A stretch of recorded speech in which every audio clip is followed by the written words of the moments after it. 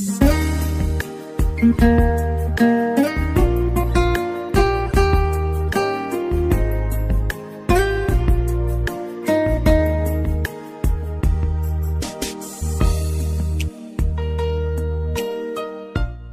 Vi chương 14 Lễ tẩy sạch người mắc bệnh phung.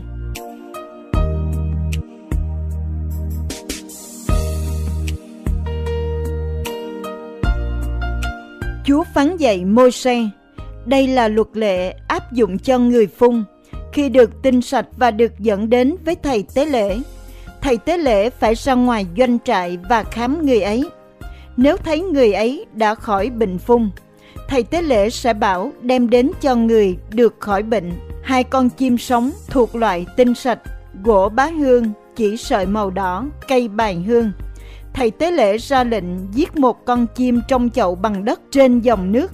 Sau đó, thầy tế lễ đem con chim còn sống cùng với gỗ bá hương, chỉ sợi màu đỏ và cây bài hương.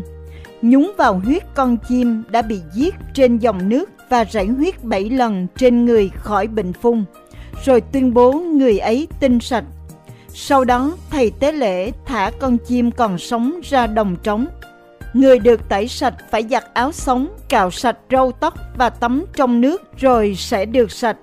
Sau đó người ấy có thể trở vào doanh trại, nhưng phải ở bên ngoài lều của mình trong 7 ngày. 7 ngày sau, người ấy lại phải cạo sạch hết tóc, râu, lông mày và lông trong người phải giặt áo sống, tắm trong nước và được tinh sạch. Đến ngày thứ 8, người ấy phải đem đến hai con chiên đực không tỳ vết và một chiên con cái một tuổi và không tỳ vết, cùng với 3 phần 10 epha bột mịn pha dầu, để làm của lễ chay và một lót dầu. Thầy tế lễ làm lễ tẩy sạch sẽ đem người được tẩy sạch và của lễ của người ấy đến trình diện trước mặt Chúa tại cửa trại hội kiến. Thầy tế lễ bắt một con chiên đực dân làm của lễ chuộc tội cùng với một lót dầu và dân các món này lên làm của lễ đưa qua đưa lại trước mặt Chúa. Thầy tế lễ phải giết con chiên này trong nơi thánh, tại nơi giết sinh tế làm của lễ chuộc tội và của lễ thiêu, cũng như sinh tế chuộc tội, sinh tế chuộc lỗi thuộc về thầy tế lễ và là một món rất thánh. Thầy tế lễ sẽ lấy một ít huyết của sinh tế chuộc lỗi, đem sức lên trái tay bên phải, lên ngón cái tay phải và ngón cái chân phải của người được tẩy sạch. Rồi thầy tế lễ sẽ đổ một ít dầu vào lòng bàn tay trái mình, nhúng ngón trỏ của bàn tay phải mình vào dầu trong lòng bàn tay trái, rồi dùng ngón tay rảy dầu bảy lần trước mặt Chúa thầy tế lễ lấy một ít dầu trong lòng bàn tay, sức lên trái tay bên phải, lên ngón cái tay phải và ngón cái chân phải của người được tẩy sạch. Phần còn lại để lên trên huyết của con sinh tế chuột lỗi. Phần dầu còn lại trong lòng bàn tay được thầy tế lễ đem sức lên đầu của người được tẩy sạch để chuộc tội cho người ấy trước mặt Chúa Thầy tế lễ dân sinh tế chuộc tội để chuộc tội cho người được tẩy sạch ô uế. Sau đó thầy tế lễ giết sinh tế làm của lễ thiêu, đem nó dân trên bàn thờ cùng với của lễ chay để chuộc tội cho người ấy và người ấy sẽ được tinh sạch. Tuy nhiên, nếu người ấy nghèo không đủ sức dân các của lễ trên, người ấy sẽ dân một chiên con đực để làm của lễ chuộc lỗi theo cách dân đưa qua đưa lại cùng với một phần mười e pha bột mịn pha dầu làm của lễ chay và một lót dầu. Hai chim gáy hay hai chim bồ câu con theo khả năng mình. Một con dùng làm của lễ chuộc tội và một con làm của lễ thiêu. Đến ngày thứ tám, người ấy mang các con sinh tế làm lễ tẩy sạch cho mình đến cửa trại hội kiến. Trước mặt Chúa, thầy tế lễ đem con chiên con dành làm của lễ chuộc lỗi cùng với lót dầu và đưa qua đưa lại trước mặt Chúa, làm của lễ đưa qua đưa lại. Rồi thầy tế lễ giết chiên con làm lễ chuộc lỗi. Lấy một ít huyết con chiên sức lên trái tay bên phải, trên ngón cái tay phải và ngón cái chân phải của người được tẩy sạch. Thầy tế lễ đổ một ít dầu vào lòng bàn tay trái mình, rồi dùng ngón trỏ của bàn tay phải rảy dầu lấy từ lòng bàn tay mình bảy lần trước mặt Chúa.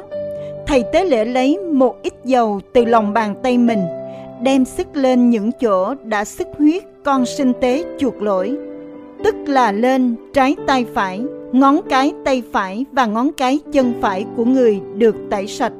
Phần dầu còn lại trong lòng bàn tay được thầy tế lễ đem sức lên đầu của người được tẩy sạch để chuộc tội cho người ấy trước mặt Chúa. Sau đó, thầy tế lễ dâng hai con chim gáy hay hai chim bồ câu con, tùy theo khả năng của người ấy. Một con làm của lễ chuộc tội và con kia làm của lễ thiêu cùng với của lễ chay. Như vậy, thầy tế lễ chuộc tội cho người ấy trước mặt Chúa.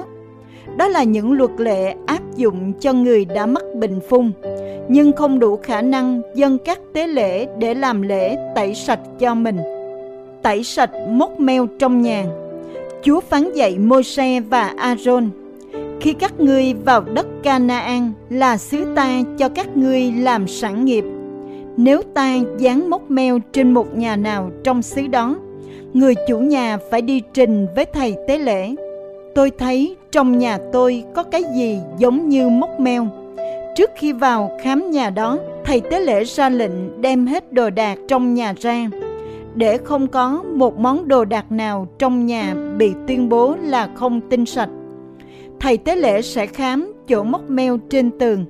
Nếu thấy chỗ mốc meo có chỗ lõm màu xanh xanh hay đỏ đỏ và dường như sâu hơn mặt tường thầy tế lễ sẽ bước ra khỏi cửa nhà và niêm phong nhà lại trong 7 ngày. Sau 7 ngày, thầy tế lễ trở lại để khám nhà.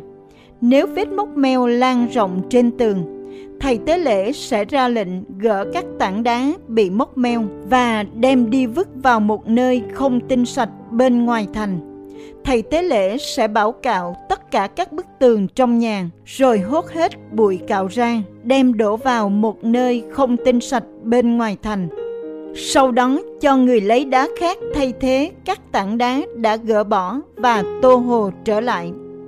Nếu sau khi đã gỡ bỏ đá, đã cạo sạch nhà và tô hồ lại mà mốc meo còn xuất hiện, thầy tế lễ sẽ khám nhà đó và nếu thấy mốc meo đã lan rộng trong nhà thì đó là chứng phun ăn lan và nhà đó không tinh sạch. Người ta sẽ phá dỡ nhà ấy, đem đá, cây gỗ và hồ ra ngoài thành, đổ tại một nơi không tinh sạch. Ai vào nhà trong khi bị niêm phong sẽ bị ô uế đến tối. Ai ngủ hay ăn trong nhà ấy phải giặt áo sống mình nhưng nếu khi khám nhà và mốc meo không lan ra sau khi nhà đã được tô hồ, thầy tế lễ sẽ tuyên bố nhà ấy tinh sạch vì đã hết mốc meo. Để làm tẩy sạch nhà, thầy tế lễ sẽ dùng hai con chim, một ít gỗ bá hương, chỉ sợi màu đỏ và cây bài hương. Thầy tế lễ sẽ giết một con chim trong chậu đất trên dòng nước, đem con chim còn sống cùng với gỗ bá hương cây bài hương và chỉ sợi màu đỏ nhúng vào huyết con chim đã bị giết và dòng nước chảy rồi rảy lên nhà bảy lần. Thầy tế lễ sẽ tẩy sạch nhà với huyết chim với dòng nước chảy, con chim sống, gỗ bá hương, cây bài hương và với chỉ sợi màu đỏ. Sau đó, thầy tế lễ thả con chim còn sống ra đồng trống bên ngoài thành. Như vậy, thầy tế lễ làm lễ chuộc tội cho nhà và nhà sẽ được tinh sạch. Trên đây là những luật lệ áp dụng cho chứng bệnh phung và vết ngứa, cho vết mốc meo trên áo sống hay trong nhà, cho vết sưng, ung nhọt hay chỗ lỡ, để xác định cái gì tinh sạch, cái gì không tinh sạch. Đó là luật lệ về các chứng phung.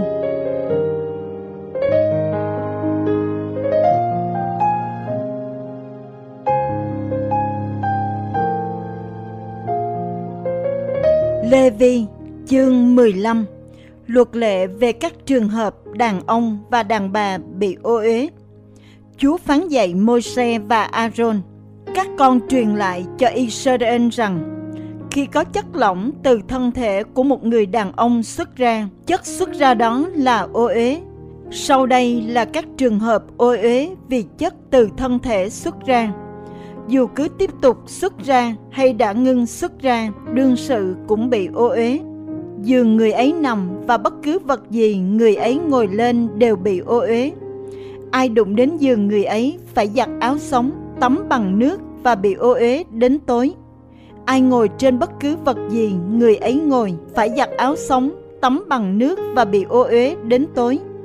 Ai đụng đến người có chất đó xuất ra phải giặt áo sống, tắm bằng nước và bị ô uế đến tối. Nếu người có chất lỏng xuất ra nhổ nhầm một người tinh sạch, người này phải giặt áo sống, tắm bằng nước và bị ô uế đến tối.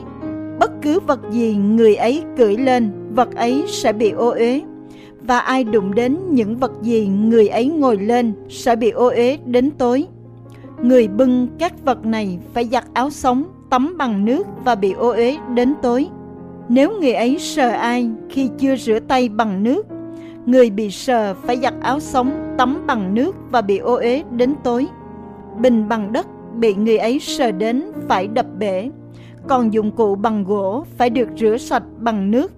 Khi chất lỏng không còn sức nữa, người ấy phải tính 7 ngày từ ngày ngưng để được tinh sạch, phải giặt áo sống, phải tắm tại một dòng nước chảy và được sạch. Đến ngày thứ 8, người ấy phải đem hai con chim gáy hay hai chim bồ câu con đến cửa trại hội kiến trước mặt Chúa và trao cho thầy tế lễ. Thầy tế lễ sẽ dâng hai con chim này, một con làm của lễ chuộc tội và con kia làm của lễ thiêu. Như vậy, thầy tế lễ sẽ chuộc tội trước mặt Chúa cho người xuất chất lỏng. Khi một người đàn ông xuất tinh, người ấy phải tắm toàn thân trong nước và sẽ bị ô uế đến tối. Bất cứ áo sống hay dụng cụ bằng da nào dính tinh phải đem giặt trong nước và bị ô uế đến tối. Khi một người đàn ông giao hợp với một người đàn bà và xuất tinh, cả hai phải tắm trong nước và bị ô uế đến tối. Khi một người đàn bà có kinh, thời gian ô uế vì kinh nguyệt là 7 ngày và ai đụng đến người ấy sẽ bị ô uế đến tối. Bất cứ vật gì người ấy nằm lên hay ngồi lên trong thời gian kinh nguyệt đều ô uế. Ai đụng đến người ấy phải giặt áo sống, tắm bằng nước và bị ô uế đến tối. Ai đụng đến vật gì người ấy ngồi lên phải giặt áo sống, tắm bằng nước và bị ô uế đến tối. Ai đụng đến giường người ấy nằm hay vật gì người ấy ngồi lên sẽ bị ô uế đến tối. Nếu một người đàn ông giao hợp với người đàn bà đang có kinh và huyết người này vấy nhầm sẽ bị ô uế 7 ngày. Giường nào người đàn ông này nằm cũng sẽ bị ô uế. Nếu một người đàn bà xuất huyết nhiều ngày ngoài thời gian kinh nguyệt hoặc huyết tiếp tục ra sau thời gian kinh nguyệt, người này bị ô uế suốt thời gian xuất huyết cũng như khi có kinh bất cứ giường nào người ấy nằm hay vật gì người ấy ngồi lên trong thời gian xuất huyết đều bị ô uế cũng như khi có kinh. Ai đụng đến các món đồ này sẽ bị ô uế, phải giặt áo sống, tắm bằng nước và bị ô uế đến tối. Khi huyết cầm lại, người đàn bà đã bị xuất huyết phải tính 7 ngày và sau 7 ngày này, người ấy được sạch. Vào ngày thứ 8, người ấy phải đem hai chim gáy hay hai chim bồ câu con đến với thầy tế lễ tại trước cửa trại hội kiến. Thầy tế lễ sẽ dâng một con làm của lễ chuộc tội và dâng con kia làm của lễ thiêu. Như vậy, thầy tế lễ chuộc tội trước mặt Chúa cho người đàn bà đã bị ô uế vì xuất huyết. Như vậy, các con sẽ phân cách dân Israel khỏi những gì làm cho họ ô uế, để họ không chết trong sự ô uế mình khi làm ô nhiễm đền tạm ta ở giữa vòng họ. Đó là những luật lệ áp dụng cho đàn ông bị ô uế vì thân thể xuất chất lỏng hay vì xuất tinh, áp dụng cho đàn bà trong thời gian có kinh, cho bất cứ đàn ông hay đàn bà xuất chất lỏng và cho người đàn ông giao hợp với đàn bà đang bị ô uế.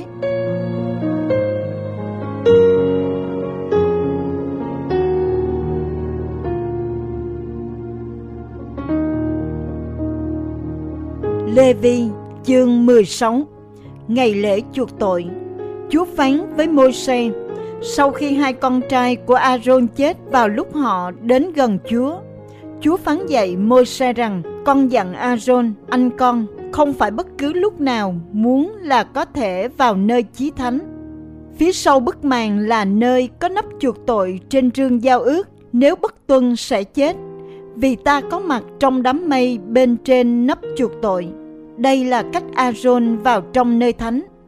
Phải đem theo một con bò đực làm của lễ chuộc tội và một con chiên đực làm của lễ thiêu. Aaron phải mặc áo dài thánh bằng vải gai, quần cục lót bằng vải gai mặc sát người, thắt lưng bằng vải gai thắt quanh người và đội một cái khăn bằng vải gai. Vì các món này đều thánh nên Aaron phải tắm mình trong nước trước khi mặc vào. Cộng đồng Israel phải đem đến cho người hai con dê đực làm của lễ chuộc tội và một con chiên đực làm của lễ thiêu. Aaron phải dâng con bò đực làm sinh tế chuộc tội cho chính mình và cho nhà mình. Sau đó người sẽ đem hai con dê trình trước mặt Chúa tại cửa trại hội kiến. Người sẽ rút thăm giữa hai con dê để biết con nào thuộc về Chúa và con nào gánh tội.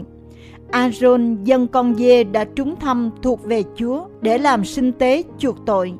Nhưng con trúng thăm làm con dê gánh tội vẫn còn sống được trình cho Chúa và được dùng để chuộc tội bằng cách thả nó ra sa mạc làm con dê gánh tội. Aaron sẽ dẫn con bò đực dùng làm sinh tế chuộc tội cho mình đến, rồi giết nó và dâng lên để chuộc tội cho chính mình và nhà mình. Người sẽ lấy than đang cháy trên bàn thờ, bỏ đầy lư hương và bốc hai nắm hương thơm xay mịn và đem vào phía sau bức màn người phải bỏ hương vào lửa trước mặt Chúa để khói hương bay lên phủ kín nắp chuộc tội trên rương giao ước. Nhờ đó người khỏi chết. Người phải lấy một ít huyết của con bò đực, dùng ngón tay rải huyết lên phần đầu nắp chuộc tội, rồi cũng dùng ngón tay rải huyết bảy lần trước nắp này. Sau đó Aaron sẽ giết con dê đực làm tế lễ chuộc tội cho dân chúng, đem huyết nó vào phía sau bức màn và rảy huyết trên nắp chuộc tội và trước nắp ấy như người đã rảy huyết con bò đực. Như vậy người làm lễ chuộc tội trong nơi thánh vì tình trạng ô uế và vi phạm của dân Israel và vì đủ thứ gian ác của họ. Người cũng chuộc tội cho trại hội kiến vì nơi này cũng ở giữa sự ô uế của họ. Không ai được phép có mặt trong trại hội kiến từ khi Aaron vào cho đến khi đã làm xong lễ chuộc tội trong nơi thánh cho chính mình, cho nhà mình và cho toàn thể nhân dân Israel và từ đó đi ra. Sau đó, Aaron ra đến trước bàn thờ, trước mặt Chúa và làm lễ chuộc tội cho bàn thờ. Người sẽ lấy một ít huyết con bò đực và một ít huyết con dê đực bôi trên tất cả các sừng bàn thờ. Người sẽ lấy ngón tay rảy huyết bảy lần trên bàn thờ tẩy sạch và thánh hóa bàn thờ khỏi sự ô uế của dân Israel. Con dê mang tội Khi đã làm xong lễ chuộc tội cho nơi thánh, trại hội kiến và bàn thờ, Aaron sẽ đem con dê đực còn sống đến. Người đặt hai tay lên đầu con dê, xưng nhận tất cả gian ác và vi phạm của dân Israel để các tội lỗi đó trên đầu con dê và giao nó cho một người đã chỉ định để thả vào sa mạc con dê sẽ mang trên nó tất cả tội lỗi của họ và được dẫn đến một nơi cô tịch.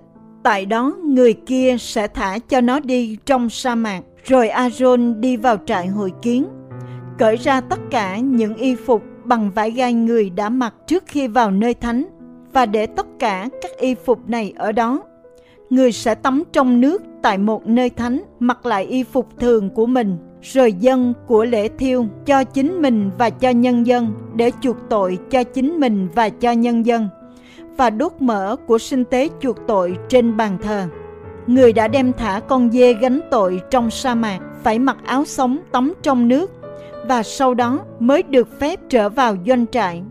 Con bò đực và dê đực dùng làm sinh tế chuộc tội mà huyết đã được Aaron đem vào nơi thánh làm lễ chuộc tội sẽ được đem ra bên ngoài doanh trại và đốt đi cả da, thịt và phân. Người đốt hai con sinh tế này phải giặt áo sống và tắm trong nước, sau đó mới được trở vào doanh trại, giữ ngày lễ chuộc tội. Đây là một quy luật vĩnh viễn. Vào ngày 10 tháng 7, mọi người kể cả người bản xứ lẫn ngoại kiều, đều phải thực hành khổ hạnh, nghĩ tất cả các công việc.